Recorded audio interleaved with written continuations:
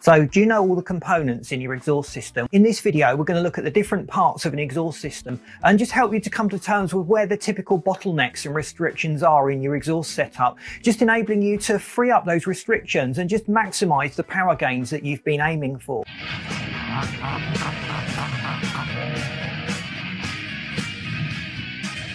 Your exhaust system starts at the engine and the pipes that come out of the engine and carry those hot gases away are referred to as headers or the exhaust manifold. Now in older cars they used to be cast from metal and it was very very rough internally and it didn't particularly match up very well with the ports on the side of the engine so there was a lot of scope for turbulence in there. And in fact the headers are generally the place you go to if you want to free up some extra airflow in the engine. The velocity of the air coming out of the engine is usually at the highest point through the headers until it starts hitting the exhaust catalysts and the other components within the exhaust system. So just making sure that these are correctly optimized can go a long way to maximizing the exhaust flow through the entire exhaust system. So we're just going to look at all the components of an exhaust system and just flag up some areas where there are typically bottlenecks and restrictions just to help you to maximize your power gains in your tuning project and just to make sure that things that were quite easy to fix have been addressed and dealt with and aren't going to come back and bite you later on in your tuning project. So I hear a lot of people talking about equal length headers on the exhaust coming out of the engine. And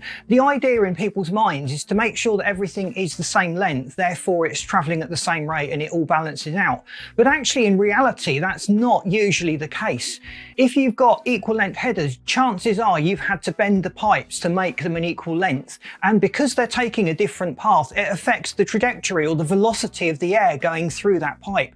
So it's far more important to have a balanced header where the airflow is consistent out of each of the cylinders. And it's particularly important to just ensure that the header design is spot on, especially when you've got an exotic engine like the VR4 or a Boxer, where the exhaust headers have to take a completely different path just because of the position they are on the physical engine itself. So the first chamber, the resonator, is actually designed to buffer the pulses of energy coming from the engine itself. So you will generally have a resonator chamber that is about the size of a cylinder. And as the air comes out of the engine, it goes into the resonator and the compressed exhaust gases will backflow into the exhaust system rather than run back into the engine.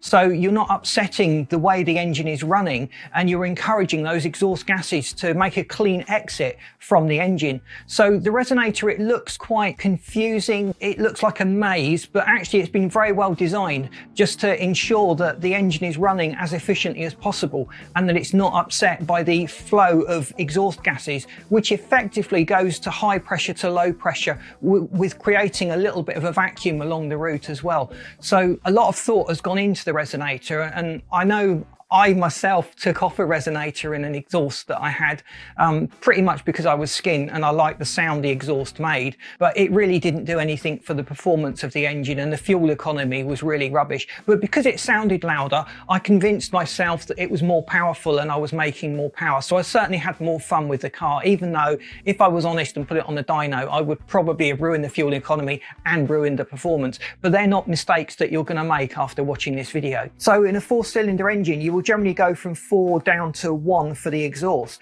But we've seen setups which go from four to two and then to one in the exhaust. You can even have a twin exhaust which goes from four to two and the two carries straight on through the underneath of the car to the rear where the exhaust gases are dumped. But the optimum setup depends a lot on your engine, where you want the power band, and really the, the way the engine has been set up. So there is no point me recommending that you always get a 421 exhaust setup because that would not be appropriate in a lot of cars. So do your research carefully, but changing from the standard manufacturer headers is generally where you start to see the power gain.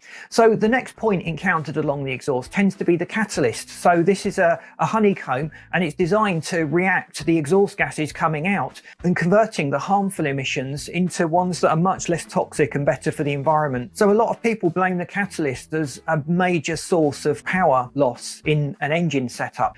But actually modern don't suffer from that much of a restriction manufacturers want to make their engines as efficiently as possible. But you can get sports catalysts which flow much better than the standard OEM catalysts. And that's going to be a subject of another video where we're going to look at catalysts and high flow catalysts and sports exhausts in, in a bit more detail. But in this video, we're just addressing the major components in the exhaust. There's two large boxes in most exhaust systems, one at the rear, which is the silencer or the muffler, and one in the middle, which not a lot of people really know what goes on in there. So you would refer to that as an expansion box or a resonator, depending on where you are in the world. Now, the resonator is designed to break up the noise that the engine is making to filter out inappropriate frequencies or undesirable frequencies. And it does that by really creating like mini echo chambers within its construction, just forcing the sound waves to bounce and ricochet against themselves. And that has the effect of creating interference waves that reduce the sound output coming from the exhaust in certain frequency ranges. So it doesn't silence the exhaust, it merely changes effectively the tone and the output of the exhaust at that point. So you can see in this image setup that the exhaust resonator has got a chamber that is completely sealed. It is only there for the exhaust sound waves to bounce into and bounce out of. And the exhaust gases will then flow down into another chamber where a perforated screen at the side will allow some of the exhaust noise to again ricochet off the external wall of the exhaust resonator back in, further eliminating the airflow. So traveling further down the exhaust, we come to the silencer. So the silencer is actually designed to absorb sound waves. So there's a, a variety of different setups and different designs, but in your typical car setup, the exhaust gases will almost flow through an S shape. You've got two perforated tubes within the silencer, and usually you will find some kind of sound deadening material that has to be obviously heat resistant, and that will absorb some of the sound waves traveling.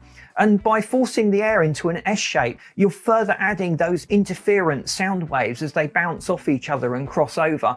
And that really does eliminate a lot of the noise and sound coming out of the exhaust. But this differs a lot from a sports exhaust, which tends to be a straight pipe and the central part has got holes in it. So that central part with holes in allows some of the sound waves to just ricochet off the outer walls of the exhaust through the sound deadening material and reduces the output tone. Obviously not as much as your standard factory exhaust silencer, but it does remove a lot of the aggressive, harsh, higher notes from the exhaust. If you're taking your car on the track, you need to think about the sound output. It's not just keeping your car street legal. Most tracks have got some kind of decibel limit that you would not want to exceed.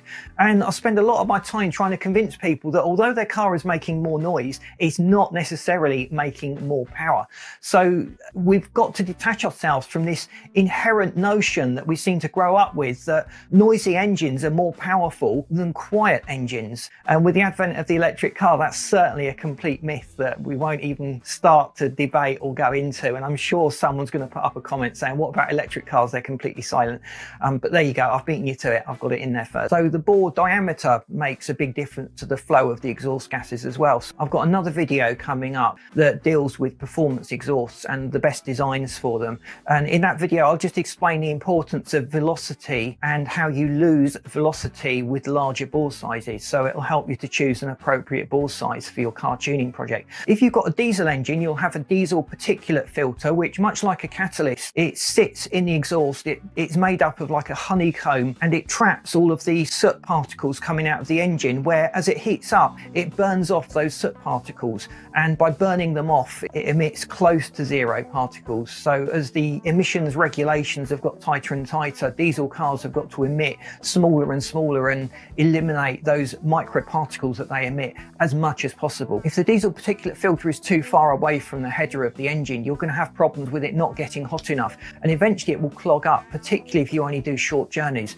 So there's whole sets of issues that come with diesel particulate filters, particularly for the low mileage driver or the driver that doesn't use their car very much. So please boot that like button. It really helps us to get out there. Thanks for watching and I'll see you in the next video. If you haven't subscribed, please do so because we'd love you to stay tuned.